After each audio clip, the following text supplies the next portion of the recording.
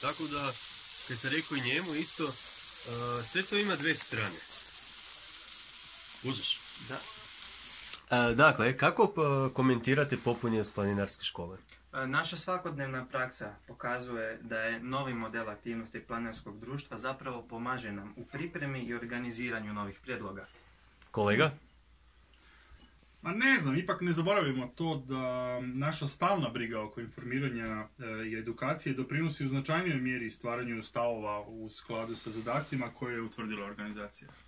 Aha, Ali dalje? Ja bih rekao zapravo da taj način koji kolega predlaže, razvoj raznih oblika aktivnosti omogućava bolju procjenu sustava opće participacije. Želite se nadovezati možda?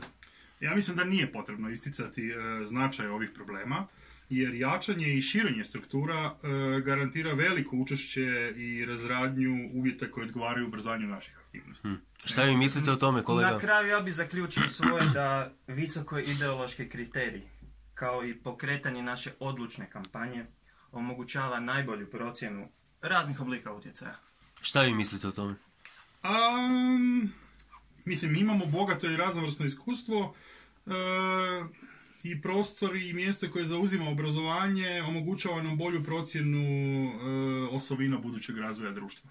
Dobro, slažem To je se. to. Slažem se, hvala. Pa ja, pa ja mislim da je to sasvim u redu Hvala, odgovor. hvala lijepa. Hvala lijepa. Hvala.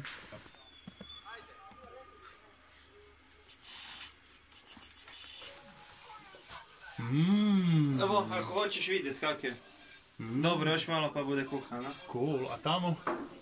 Tamo smo evo baš nastavili. Narezali je sad upravo snijeg. To je to. I sad samo malo da se predinsta i gotovo. Bravo.